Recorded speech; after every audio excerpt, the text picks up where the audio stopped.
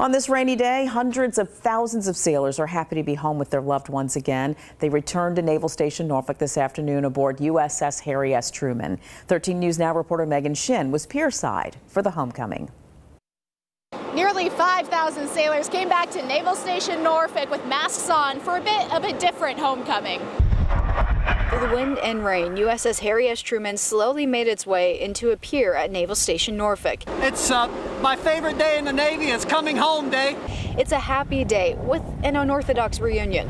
Instead of loved ones greeting sailors at the gate, they waited inside cars. This comes on the heels of an unusual deployment. The ship's leaders say the coronavirus pandemic caused the ship to stay in the western Atlantic two extra months. Sailors continue training while waiting. Uh, so I'd say our nation and our taxpayers have certainly gotten their money's worth out of Harry S. Truman. Because no one on the ship had a confirmed case of coronavirus and the ship didn't make port stops after February, sailors got to walk to the pier as soon as it docked. The battle group not just the carrier and the air wing, but all of the battle groups stayed COVID-free and remain COVID-free as a ready asset for our nation. The Truman is the last ship in its strike group to return to Naval Station Norfolk. While at sea, the crews helped support global security around the world in the 2nd, 5th, and 6th Fleet of operations. The Truman even responding to international tension. Later, an unarmed Iranian drone flew directly over the Truman in January in the Persian Gulf. On the maritime side, uh, the, the response stayed very muted.